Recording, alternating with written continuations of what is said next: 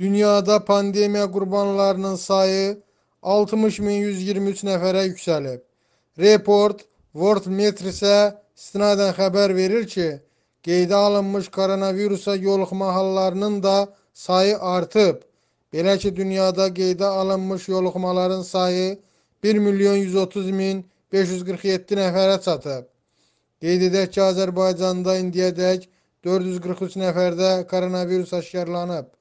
Yolxanların 32 nəfəri sağalıb, 5 nəfəri isə dünyasını dəyişib. Xatırladaq ki, koronavirus infeksiyası ötən ilin dekabrında Çinin Wuhan şəhərində yayılmağa başlayıb. Hazırda virus 205 ölkə və bölgədə qeydə alınıb.